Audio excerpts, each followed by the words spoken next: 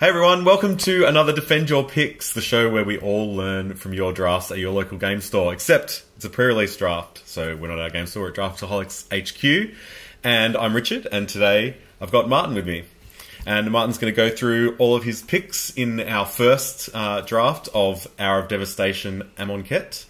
And um, let us know what he thinks about the format, and uh, hopefully we can all learn something and be ready for the online drafts. All right, Martin, how did it go? I think uh, there'll be a lot to learn from this. It was my first ever draft that I've done. I played one pre-release on the weekend. So to be honest, like a lot of us, I was reading a lot of the cards Yep. immediately as I first opened this pack. So in terms of like what I was trying to hopefully open, obviously one of the gods would have been amazing. Um, to be honest, I really like just opening any kind of removal.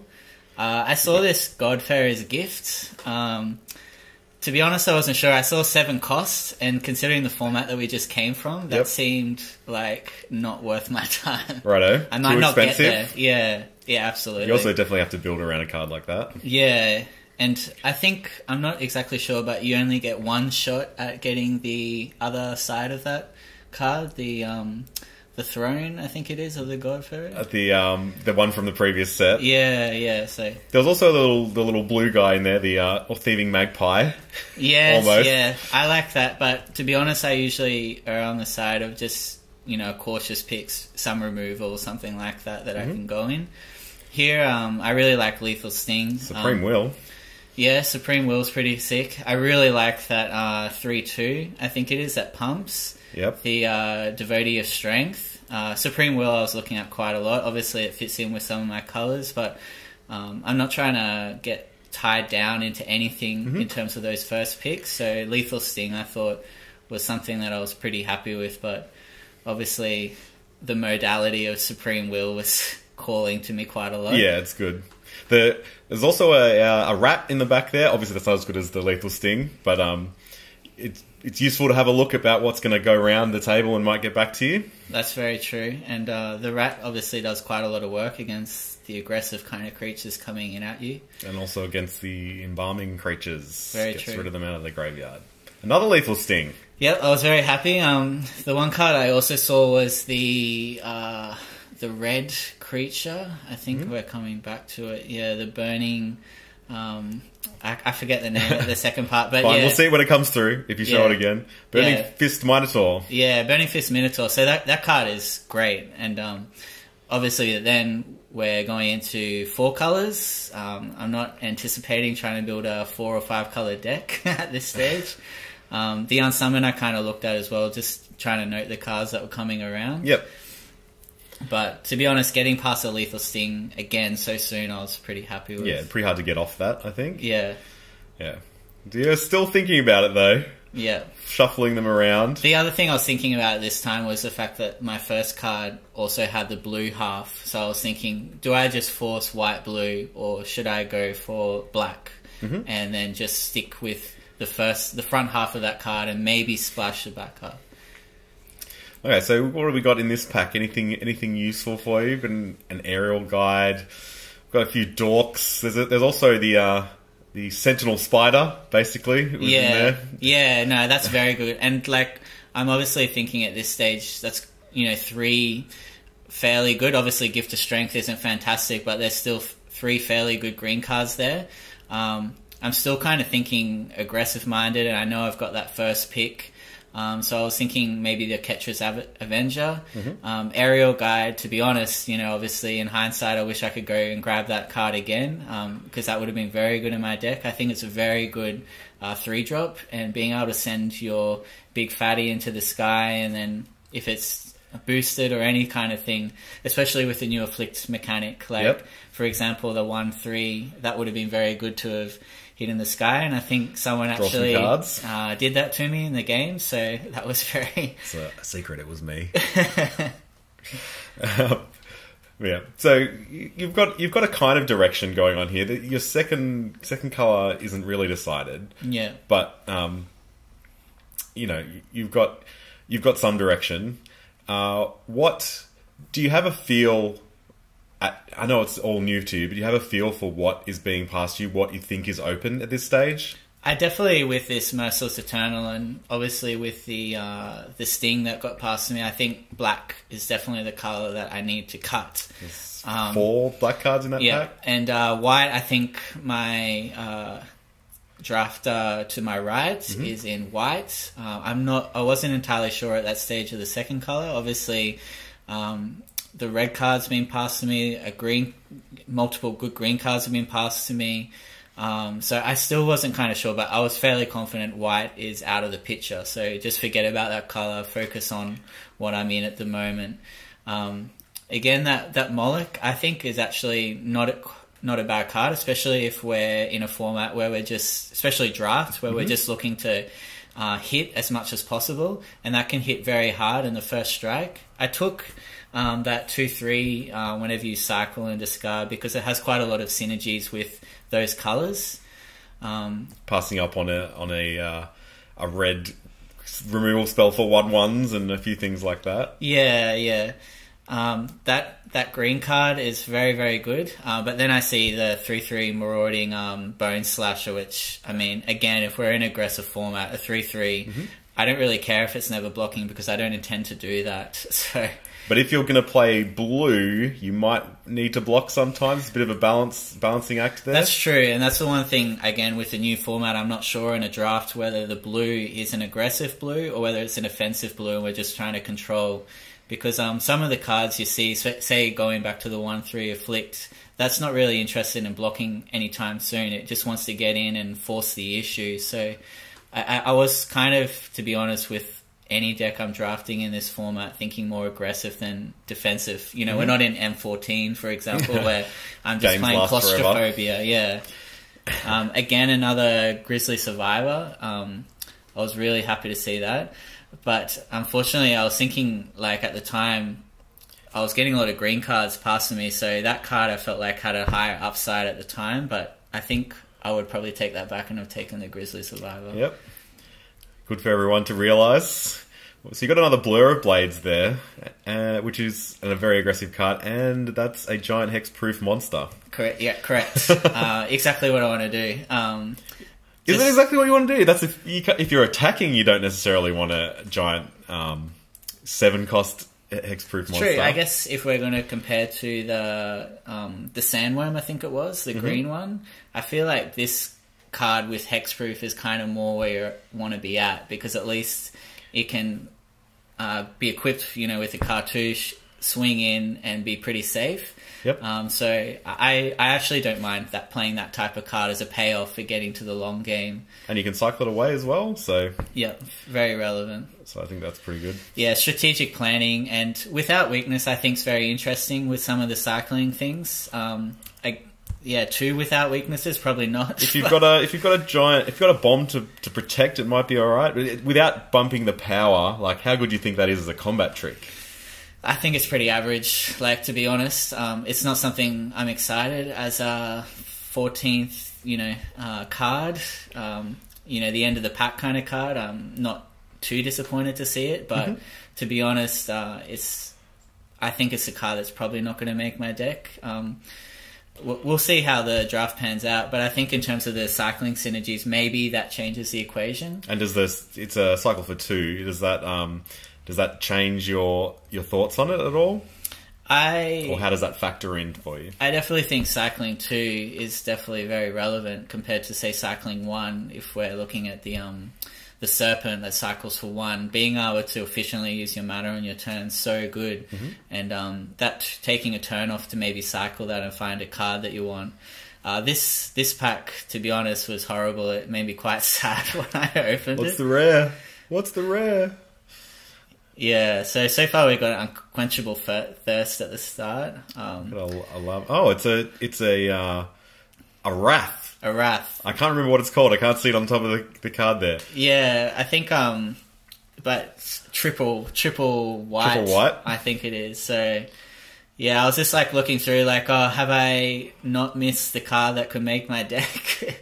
the one card like that's really good, I think, is Desert's Hold. I think that's a really really good And a, uncommon. an arrest.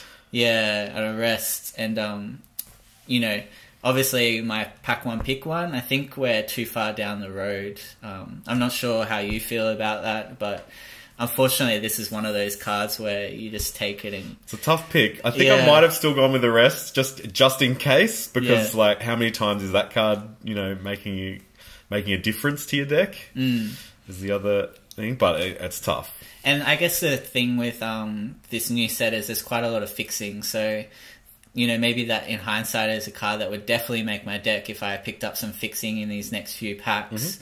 Um, having paid, played in the pre-release with uh, Manalith, I think that card wasn't very impressive for me. So that was sealed. And in draft, I think taking turn three to play uh, a thing that taps color your mana Just get run over, correct. yeah. especially with uh, overcome in the format, and uh, the, uh, the red white deck is still very good. Yeah, so there I took on summon just as a quick kind of combat trick. Um, again, these kind of initial packs weren't fantastic. Uh, I was very very happy to see that. I think uh, Aerial Guide again is a very good card. Yep. Hopefully I took it, but I'm pretty.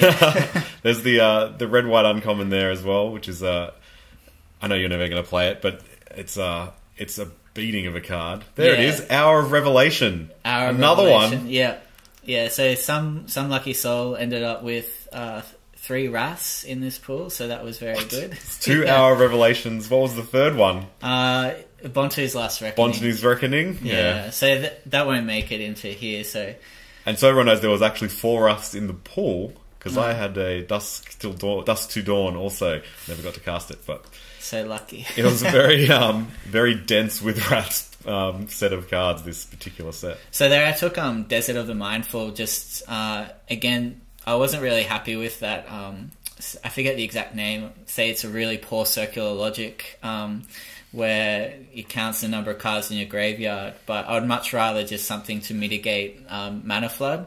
Um, again, with the aggressiveness of the format, at least if you draw one of those lands late game, it's not like you know a scoop.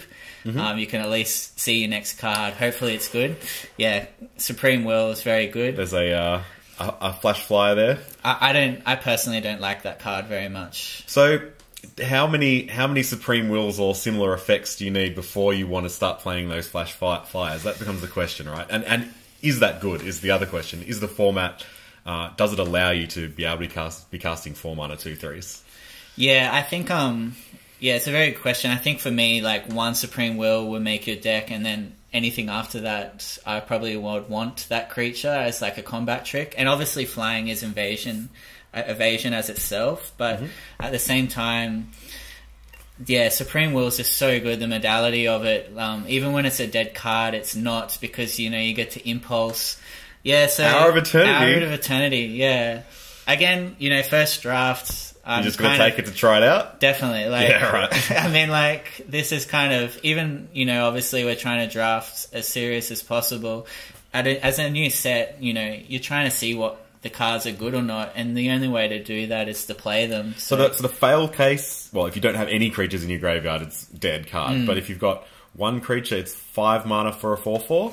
Yeah, I think I think you'll be really upset if that's what you're uh, casting it for in any game. I. So think, you need to get to seven, get two four fours. Is that worth it?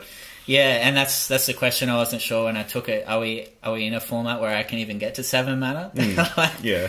Um, I do think you're gonna in these colors gonna have creatures in your graveyard because you're cycling them away. So I wasn't too worried about that, but um, yeah, it was very relevant. And of course, triple blue. Yeah. Like, Is there a big mana deck? That's the other thing. Is there a green blue deck that could cast that card? There is the two four mana elf and Manaliths. I know we already talked about the fact that they might be a bit too slow, yeah, yeah, um, but you know it could be there. it could be there. And I mean, is that like again, like, is that the payoff that you want? Like, Yeah, obviously, a like, a bunch of four fours. Yeah, as opposed to like say you're only going to see it in one of these Amonkhet packs in terms of um, a possibility is Sandwurm Convergence. Mm-hmm. And you know, like that that is absolutely something you want to ramp towards. But you can't know you've got it until the very end. Yeah, Yeah. it's a, it's a tough spot. But I think that's a good measure of like what you're trying to compare that hour to is you know what. What are you ramping towards? Is that going to end the game? Because Sandwurm Convergence will end the game pretty much. Yeah. I'm, I'm on the side of I think it's probably not good, but I'm, I'm I agree that you should just try it out in the early days. Reason belief. I was obviously the front half of that was in my colours, and then Moaning Wall. I think it's that's not a very good card. I play with that in the pre-release. I wasn't very impressed So, with it. are you ever going to play a countervailing winds? Would you ever play the uh, the bad logic knot, as you put it, the countervailing winds? I think um maybe in hindsight probably one of them could have made my deck, Mm-hmm. but I wouldn't have been ecstatic about it. It would have been you know one of those last cut cards, and Yep. and it's a non-creature spell as well. I'd much rather be having creatures. Yeah, Bloodwater Eternity, the entity. Sorry, the fact that it wheeled.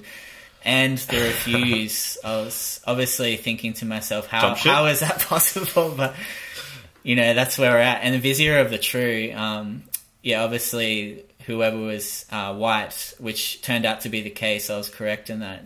Being able to get that as one of their last few picks was Uh, amazing. a gift, Yeah, gift of the God Pharaoh. We've got oh, it's all white cards to finish. White off. is being cut very hard. All right, so you know you you're probably not going to get anything else in this pack. Yeah. You know what's in the Amonkhet packs. We've played them plenty of times. What do you want to open?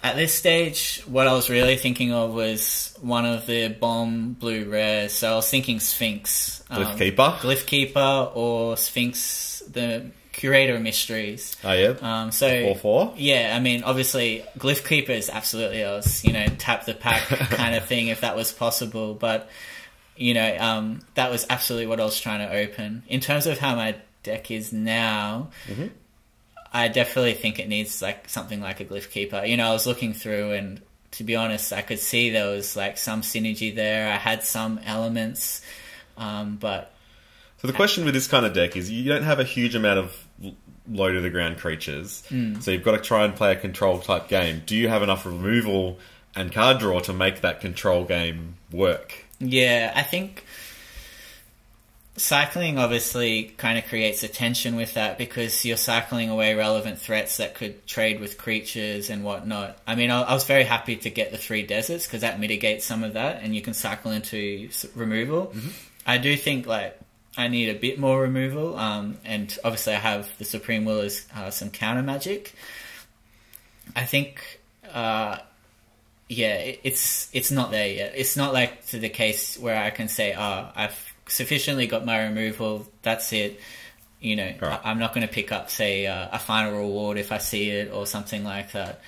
Something that can deal with um, some problematic permanence, uh, especially the exile clause, is pretty relevant in this set. With the uh, the big scary dual colored gods Yeah. running around, they're very hard to get rid of. I mean, I was also very um, looking forward to like seeing how the stings work in practice, um, as opposed to you know just the the downside to it seems quite low to be honest. So yeah, he's Being able to put a negative one counter Yeah. on something. yeah essence scatter obviously you always like start. when you You've see got a good, something a yeah good fallback position. absolutely Cartouche. That's Love pretty it. good too. yeah yeah And you've also got a uh, a uh, shimmering drake there, so they're all cards you would play. yeah But come on, come on, you can do it. Yeah, decimated be uh, a crocodile. ah, No, yeah. Even mind sensor.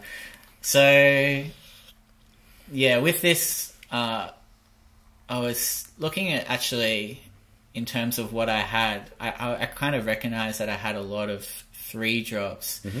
but then the cartouche just kind of changes race equations very quickly and can allow you to get this. So I, I ended up going with the cartouche. Essence Scatter, I think. Uh, I think both uh, have merits in terms of their picks. picks. Yeah. There's your final reward. Yep. So Slamming it, or you get another creature.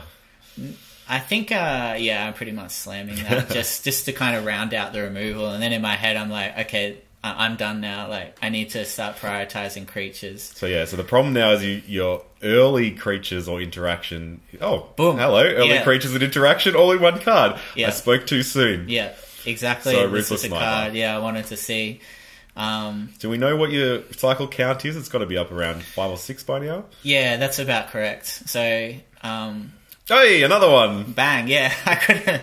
To be honest, I couldn't believe that. Like, Gone way out of focus, but um, Yeah, that's how excited I was. So, uh, Ruthless Sniper, obviously two of them, um, you know, on a board can just, you know, they're pretty much a wrath of themselves and they can just control the game. So yeah, I was really really happy to see that. Gives you a way to deal with those little creatures you didn't have before. Yeah, absolutely. Um, it makes up for not opening a glyph keeper. So So we've got some more interaction if you wanted a Lay Bare or a uh, winds of rebuke. But are you Yeah. going to take the creature instead? yeah, I think I'm at the state. Oh, let's let me think now. Winds of rebuke was pretty good in the, uh, Yeah. the previous format. I think my initial fo- think uh, thought process was like uh, I should take the creature, but then I remembered that wings. Uh, if it's a very fast format, maybe I might want that interaction, Mm-hmm. and now I get to see another, you know, splendid agony, and I think, uh, I just need to take the two drop. I, I have not got enough two drops. I've got two of the uh, stings. sting. Um, Doomed Dissenter is very happy to take that negative negative one counter. Um, Yep. So yeah, I just took that. So Splendid Agony, of course, you know, maybe in hindsight, obviously, if I could go back, you know, I'd love uh, Splendid Agony instead of a Winds of Rebuke, but unfortunately, that's not how the packs kind of fell down. Just uh, you taking a crab or a two, random two drop? I took the random two drop here. Um, Yeah. Crab, I feel like obviously I know I've got to try and get triple blue for this hour, but at the same time I felt like the three drop was more than covered. I've got the cycling ones, um, Supreme Wheels, the Sting. Uh, here's a useless rare that's not relevant. You just have to you just have to read it a few times to make sure you know what it does. Yeah, yeah. you know, I was ha- I was like trying to will that to be something actually relevant. Um, unfortunately, that's one of the cases where you know you can cut a color and then what you get is unfortunately a non-relevant rare. But so be it. You can play any of these cards, so Yeah. I mean, it, it it proves that you're probably in the right colors. And getting a Shimmerscale Drake back On the wheel was is awesome. Great for your cycling and just having another flyer for the late game is a is a good a good pickup, I think. Trespasser's Curse, I just don't think that's even a card. So I was like trying to think, oh, maybe I might try and hate the person to my left. Like, what what do they really want? Um, I think, yeah, probably I was too kind there. I figured, oh, they're all pretty rubbish cards. I was really happy to get the Miasmic Mummy on the wheel. Again, that's like another two drop. Um, and the Reduce Rubble didn't end up playing it, but it's relevant. You're getting all cards that are you know you could play them. Yeah. yeah so it's not a it's not terrible. Yeah. I mean, the Pitiless Vizier gets better if your cycle count got up. Got up Yeah, I think well. it, the final count was roughly around seven. So I, I, I think it was like the bare minimum of what was necessary to make it work. Yeah, okay. Well, we can find out by magically clicking this button, and ta-da! Here is your Ta-da. deck. So it's the final deck. Uh, what do you think of it? What what would you, score would you give it out of ten? I think, you know, really objectively speaking, um, I would give it like a three or four. Like, to be honest, when I built the deck and studied it, I thought if I can go one, two, uh, I would be pretty happy. If I go two, one, I'll be ecstatic. but like, that's really high ceiling. So Um, what's what's the missing piece? What's is it? Is it just a big bomb? Is it? Yeah. Okay. Yeah, so I think um, if I if I open, you know, like say what we opened in one of the packs was um, a glyph keeper or another kind of relevant blue bomb in um, Hour of Devastation, or, or even black, obviously. Um, that kind of would have been the missing piece. Um, I feel like there's synergy there. We've got cyclers, we've got a few things going on. But at the end of the day, you're trying to close out games, and I felt like a lot of the time I would get to a state in games where I just couldn't get over the finish line. Yep. Yeah. Get them get them down, but just couldn't follow through. Hmm. Did you ever get to cast the Hour of Eternity? I did not. So Ah, never got to even try Yeah, it. exactly. Um, and there was never a game, even you know, where you're looking at that card in your hand, thinking, "What have I done to myself?" Um, so unfortunately, yeah, maybe no I'll just have to it. draft it again. Yeah. What about the uh, the giant hexproof monster up there? I did not get to cast that. So I mean, maybe uh, there's a bit of mana flood. Um, sorry, mana screw there, and I didn't get there in the games that I had, and I had to cycle it away to make my land drops. Um, so yeah, again, unfortunately, it wasn't the kind of good data point that we're looking for. But I, I, I still stand by that. I think it's still a, a very, very good card, and the Yeah. fact that it's cycling one is very good. Yeah, well, good. People can learn from uh, from your mistakes and from your wins. So, what did it? Um, what did your deck actually? What was the win rate? What did you get in the end? I went the old zero three. Zero So, three. yeah. Oh, that's unfortunate. Yeah, so Did Did you win any games? Um, no, actually, the games that you know I I was close to winning were exactly what I'm talking about. In the sense, you know, I had opponents at three or five and just couldn't close out the the game. So. Uh, I think, yeah, unfortunately, that kind of shows that's the difference between, uh, say, a below average deck and uh, mm-hmm. average to good deck is just being able to get over the line there. Mm-hmm. And uh, who? What would you say was the all star for what? What kept you in games? What What gave you a chance at the of these cards? Was it the snipers? The snipers did quite a lot of work, but obviously they were uh, killed on sight quite a lot. Mm-hmm. I would mm-hmm. say actually the card that most impressed me tonight uh, was Aerial Guide. I think um, going forward, that's a card that I'll rate really highly. Um, it sent uh, silly little zombies to the air. Um, it allowed me to kind of race in situations that maybe this deck could not uh, in Amonkhet. Yep, uh, definitely a green blue all star. I'm sure. Yeah, throwing, definitely. Throwing a six seven hexproof in the air would be a. Uh, I'm sure all Colossapedes like to fly. yeah. Flying insects. Yeah. They have wings, I think. All insects, so we'll be fine. Um, all right. Um, thank you, Martin. Thank you for going through uh, your picks. Um, I hope everyone at home hope you learned something from this. It's very early in the format. It'll uh, you'll you'll be seeing this after it's up on MTGO, so you'll be um, you'll be learning from people on there as well. Um, if you want to get in contact with us, yeah, you can find our website draftaholicsanonymous.com. Uh, go there, leave me a message uh, from the feedback form. I read them all. Thank you to all the people that have already got in touch with me. Uh, it's it's appreciated. And also, you can get us on Twitter at Draftaholics and uh, Draftaholics MTG at Draftaholics MTG. Uh, we're we're active on there, and every, every I'll reply to everyone. And if you would like to be part of it, and you're in Melbourne, give me a call as well. Uh, it, we do this every couple of weeks, and it's great fun. So. Yeah. Might even be a phone close by.